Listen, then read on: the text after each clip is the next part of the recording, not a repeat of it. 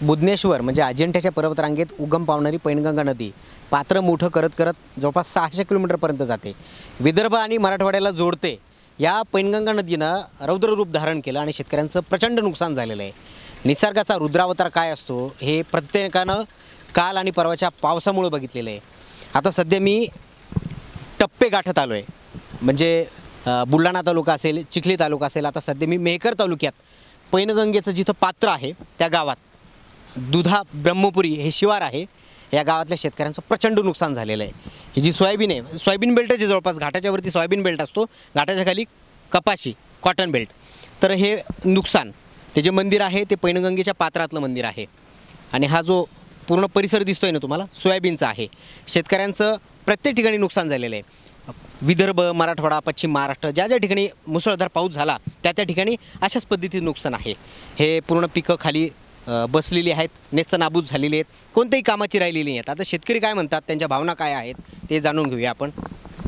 नमस्कार मी अमोल मस्के इथूनच जवळ असलेला ब्रह्मपुरी गावचा रहिवासी आणि एक शेतकरी. माझ्या गावाच्या शेजारून एक पैनगंगा आपली नदी जाते आणि नदीलगत हजारो हेक्टर हजारो हेक्टर ही शेती लोक शेती करतात. गेल्या ब तीन ते चार वर्षापासून सतत सतत नदीला पूर येतो आणि आम आमचं जीवन उद्ध्वस्त करून जातो.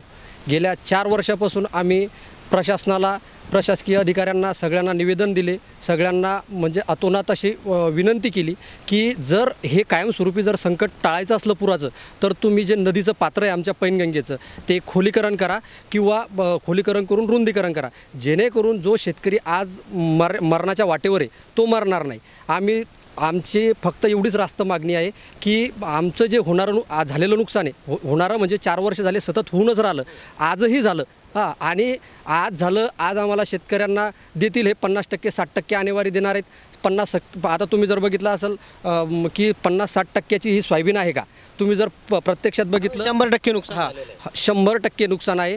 आमची सरकारला आपल्या मीडियाच्या माध्यमातून एक हात जोडून विनंती आहे की तुम्ही ती जे पन्नास टक्के साठ टक्के सत्तर टक्के आणेवारी आहे ती न देता शेतकऱ्याला शंभर टक्के शंभर टक्के नुकसान भरपाई द्यायलाच हवी.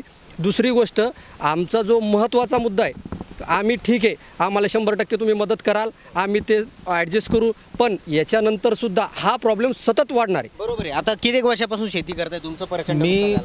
मी पंचवीस वर्षापासून शेती करतो. सर ही माझी शेती आहे इथली. ही तुम्ही तर आता पाहिली. आणि यांना यांच्या या ढिसाळ कारभारामुळं हे नदीचं जे पाणी फुटतं इकून येते हे पाणी आम्ही वेळोवेळी त्यांना तक्रारी करून त्यांनी काही त्याचा उपयोग आहे म्हणजे हे केलंच नाही. आता कोणी येऊन पाहिलं का नाही? नाही आतापर्यंत कोणी आलंच नाही. म्हणजे आता कालपासून पाऊस नाही नाही नाही. आले नाही. नाही कोणीच नाही आले. कोणताही अधिकारी इकडे फिरकला नाही. कोणीच नाही नाही कोणीच नाही फिरकलं. तर हे नदीच्या पाण्याचे नुकसान होते पेनटाकळी प्रकल्पामुळं हे नुकसान हे तीन वर्षापासून सतत होते. हे नुकसान तात्काळ ज- पाहणी करावी. नाही शेतकऱ्यांना हे धक्कादायक नुकसान झालेलं आहे.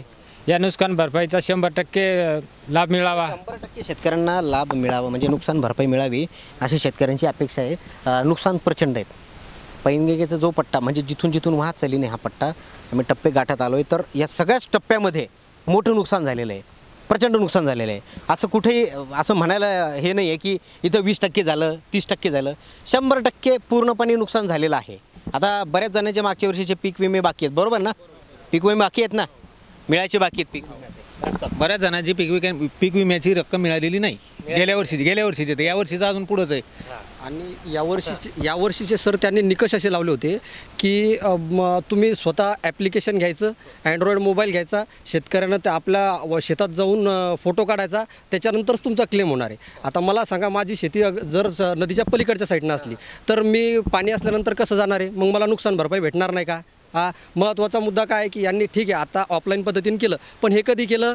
शेतकऱ्या प्रत्येक शेतकऱ्याजवळ अँड्रॉइड मोबाईल आहे का? प्रत्येक शेतकरी बारावी पास आहे का? बा शिक शिकलेला आहे का? तो पहिली पास असू शकतो दुसरी असू शकतो त्याला काय ॲप्लिकेशन कळणार आहे? आणि अँड्रॉइड मोबाईल घ्यायचा म्हणजे डबल पंधरा हजार रुपये कमवायचे. तिच्यात ॲप्लिकेशन अपलोड करायचं. म्हणजे सरकारनं त्यांचं अंगावरची गोदडी ही शेतकऱ्यावर झटकून टाकायची की तुम्हीच ॲप्लिकेशन ऑनलाईन केलं नाही म्हणून तुम्हाला पैसे भेटले नाही. हां म्हणजे शेतकरी पहिलाच हवादिल झाला. मूग उडदाचे पिकं गेले. त्याच्या अगोदर श पाण्यानं कमी जास्तपणा केला म्हणून तीन वेळा आता या शेतात माझ्या काकाच्या तीन वेळा पेरणी झालेली. तीन वेळे पेरणीचा खर्च किती होतो? आता पेरणीचा खर्च तर सोडा.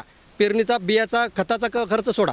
त्यानंतर जेव्हा मूग उडीद आपण अपेक्षेनं पेरतो मूग उडदाच्या पाण्यामुळं सगळा धिंगाणा झाला. एक रुपयाचाही हाती लागला नाही. त्याची वावरात जाऊन चौकशी करा फोटो काढा काहीच मिळणार लागला शेतकऱ्याला. अजून काही भेटलं नाही. त्यानंतर हे जे विम्यावाले आहेत हे कंपनीवाले वगैरे हे स्वतःची मनमानी करतात. लोकांचे फोन उचलत नाही. काल माझ्याकडे तक्रारी आल्या म्हणजे आमच्या मंडळीचे तक्रारी आल्या. मी काल स्वतः वि- विमा प्रतिनिधीला अर्धा घंटा बोललो की तुम्ही ऑफलाईन घ्या. कारण की ऑनलाईन घेऊन शेतकऱ्याचं नुकसान म, दिसणार नाही तुम्हाला. कारण दिसेल पण प्रत्येकाचं तुम्ही अपलोड होणार नाही. नेटमध्ये प्रॉब्लेम येतील तुम्ही तारखी देता बहात्तर घंट्याचा वेळ देता. बहात्तर घंट्यात जर का नेटच नसलं तर मग का अपलोड कुठून करायचे? मग त्यानंतर त्यांनी आता ऑफलाईन घेण्यास सुरुवात केली. पण माझी एक तुमच्या माध्यमातून सरकारला एक प्रत्यक्षरित्या अशी विनंती आहे की आपण विमा ऑनलाईन ऑफलाईन हे केल्यापेक्षा सरसगट सगळ्यांना ज्यांनी विमा भरलेला आहे त्यांचं ग्राह्य धरावं. लोकप्रतिनिधी येतात त्यांना बोलला लोकप्रतिनिधी अजून आलेच नाहीत. आल्यानंतर आपण ते बोलणारच आहेत सगळेच बोलणार आहेत आता. पण आल्यानंतर तेही त्यांच्या पद्धतीनं काय करायचं ते समोर सांगतील. पण आज रोजी आमच्यावर जी समजा जीव घेणी पाळी येईल ती पाळी कुठंतरी तुमच्या माध्यमातून सरकारनं आम्हाला या जीव घेण्या तलावातून बाहेर काढावं. हां आज जर का आम्हाला मदत भेटली नाही अगोदर डोंगर क गरजाचा डोंगर आणि उद्या जर का समजा हे जर का पेरलेलं विरलं आतापर्यंत जो खर्च लागला कर्ज काढून घेतलं आता उद्या जर का समजा आपल्याला त्या माणसाला समजा समोरच्याला पैसे द्यायचे द्यायचे कुठून? हां आणि हेक्टरी जर का तुम्ही दोन आणि तीन आणि पाच हजार देत असताल. एका एकराला तुम्हाला एक बॅग सोयाबीनची चार हजार रुपये भाव होता. त्याच्यानंतर एक खताची थैली. हां त्याच्यानंतर पेरणीचा वगैरे खर्च जर धरलं तर दहा ते बारा हजार रुपये तुम्हाला एका एकराला लागतो. आणि एका हेक्टरने तुम्ही दहा हजार कसे देणार आम्हाला? आमचा पेरणीचा खर्च तरी आम्हाला भेटायला पाहिजे. एवढी माय मायबाप सरकारला एवढीच विनंती आहे की आपण आमच्याकडे लक्ष द्या. आम्ही असं समजा की व एका दरीत चाललो आहे आणि आम्ही जर दरीत गेलो शेतकरी जर दरीत गेला तर बंदा देश दरीत जाईल. सांगा नेते मंडळी येतात तुमच्यासोबत फोटो काढतात नुकसानीचे पंचनामे वगैरे ते येतात फोटो काढले ते आले त्या त्यानंतर कोणी इथून अ, दुसऱ्या अँड्रॉइड मोबाईलवाला फोटो घेऊन टाकतो बस एवढे काय आली बाबा भेटली. झालं तेवढं सांत्वन करून काय भेटणार आहे आम्हाला? सांत्वन तेवढंच करतात. बाकी म्हणजे दाखवण्यापुरती असतं हे? दाखवण्यापुरतंच ना. गिरी काय तर. आता आम्हाला काही भेटलंच नाही तर मग आम्ही कसं काय म्हणणार की बाबा नाही नाही, आणि आले नाही केली म्हणून. आणि यावेळेस तर कोणी आलंच नाही ना. बघतो ना आपण बऱ्याच ठिकाणी नेते मंडळी येतात. बिलकुल. फोटो सेशन करतात. फोटो सेशन आणि आ, म्हणजे नेते मंडळी ठीक आहे त्यांचं काम करत असतील ते येतात पण असं नाही म्हणत आम्ही येतो. पण ते आल्यानंतर अधिकारी वर्ग येतो. अधिकारी वर्ग तेवढ्यापुरता येतो. त्याच्यानंतर काय? त्याच्यानंतरची पुढची पायरी काय? आता प्रत्येक ठीक आहे समजा मी शिकेले मी बोलायला लागलो. आता बाकीचे जे शेतकरी आहेत यांना काही समजतच नाही विचारांना ते काय करणार आहेत कुणाला बोलणार आहेत? ते लोकप्रतिनिधींना बोलतात. लोकप्रतिनिधी त्यांचं काम करत असतील अधिकाऱ्याला आदेश देतात. अधिकारी काय करतात? हा कोणता अधिकारी ते आज? कोणत्या अधिकारी इथं नाही कोणत्या पंचनामे नाही. बरं ठीक आहे. पंचनामे करायचे काय हिच्यात आता? तुम्ही बघा ना काय स्थिती पंचनामे करायची. सिस्टीम चुकीचं? सिस्टम सिस्टम माझं तेच म्हणणं आहे की सिस्टम पण चुकीचं आहे आणि सरकारनं जी ध्येय धोरणं राबवू राहिले आता या या काळात समजा हे मला तरी वाटतं माझ्या मते तरी कुठंतरी चुकीचे. कारण की ही जर सरसकट माफी आहे तर याचा विमा भरून आणि सरसकट शंभर टक्के माफी हे द्यायला पाहिजे ना त्यांनी. हां तुम्ही जर का म्हणत असतील की नाही तुमचं पन्नास टक्के अनिवार्यात बसायला लागलं हे योग्य आहे का? तुम आम्हाला तर आम्हाला आमचं एवढंच म्हणणं आहे की फक्त आम्हाला जगवा. बस आमचं दुसरं दुमत नाही. आम्ही म्हणून राहिलो का की बा आम्हाला ज्या आमच्या उत्पन्नापेक्षा दीडपट आहे द्या आता दहा हजाराहून भाव चार हजारावर आहे. हां सोयाबीनचा. आता सोयाबीनचा भाव चार हजारावर आहे ठीक आहे.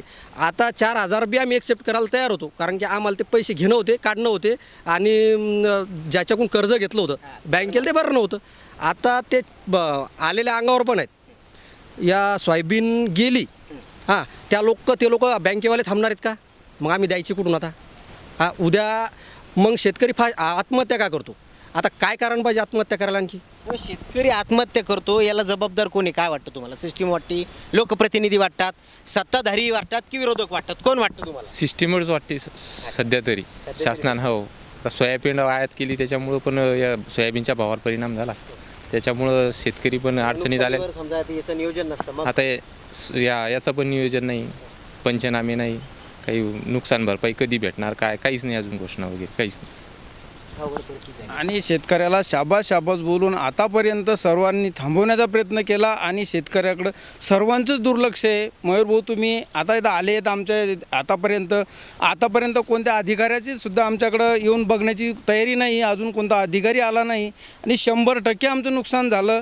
या नुकसानाबद्दल कोणता अधिकारी कोणत्याच प्रकारची अजून म्हणजे आमची दखल घेतली नाही आणि शंभर टक्के नुकसान झालेलं आहे. यातला पर्याय शासनानं कोणत्या पद्धतीने निवडायचा तो निवडावा आणि आमचा हा मार्ग आम्हाला मोकळा करून द्यावा. कारण नदीचं जे पात्र आहे दरवर्षी हे चालूच राहणार आहे दोन हजार सहाच्या महापुरापासून. तर आतापर्यंत आम्ही या संकटात जो येऊन कोसळतो दरवर्षी नेमका आशेचा डोंगर असा दिसतो की आता आम्हाला असं वाटतं की आम्ही आतापर्यंत आता दोन दिवसात आपलं काहीतरी सोयाबीन येणार आपण कोणाचे तरी पैसे देणार मुलाचं काहीतरी शिक्षण करणार आणि शेवटी असं उरालं की आमच्या आशा सगळ्या पल्लवीत होऊन जाऊ राहिल्या. कोणत्या आशेचं किरण सगळं मालवलं जातं याच्याकडं आमचं फक्त एकच विनंती आहे की शासनानं याच्याकडं लक्ष द्यावं.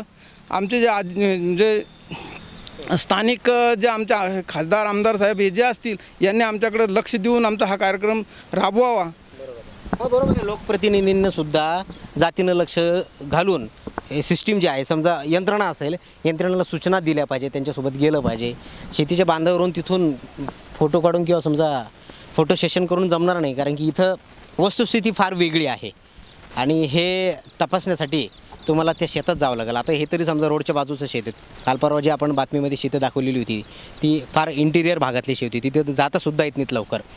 आपल्याला त्याची सवय नाही पण शेतकऱ्याला रोज त्या ठिकाणी जावं लागतं. बरोबर आहे की नाही? शेतकरी रोज आपल्यासाठी मरतोय तो आपल्यासाठी पिकवतोय. कृषी प्रसा प्रधान देश आहे असं आपण म्हणतो. भारतात शेतकरी काय शेतकरी हा सिस्टीमचा कणा म्हणतो ना आपण त्याला बरोबर आहे की नाही? तर मग तो जर म्हणतो मोडतोय कणात जर मोडतोय आपला तर मग आपण ताटमानीनं जगणार तरी कसं? हा प्रश्न आपल्याला प्रत्येकाला पडला पाहिजे.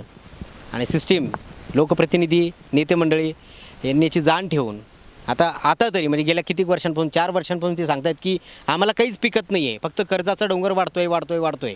मुलीचं लग्न राहिलं आहे मुलांची शिक्षण राहिले ही वस्तुस्थिती आहे. बळीराजा आपली कैफियत मांडतोय. आता त्याची कैफियत तो आपल्यासमोर मांडतोय. पण त्याच्या वाली कुणी आहे का? हा प्रश्न हा खूप मोठा प्रश्न आहे. या प्रश्नाचं उत्तर त्यांना मिळेल का? फार कठीण समस्या झालेली आहे. व्हिडिओ श्रीकांत पठेने मी मयूर निकप झी मीडिया दुधा ब्रह्मपुरी बुलढाणा. छत्रपतींचा विचार म्हणजे?